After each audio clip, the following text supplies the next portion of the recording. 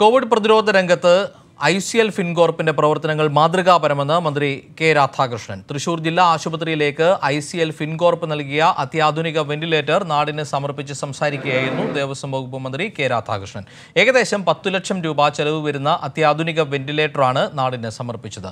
I C L നടത്തിയിട്ടുള്ള മാതൃകാപരമായ പ്രവർത്തനങ്ങൾക്കും ഐ സി എൽ ഫിൻകോർപ്പിന് നേതൃത്വം നൽകുന്ന C M D K G അനിൽകുമാറിനെയും മന്ത്രി അഭിനന്ദിച്ചു.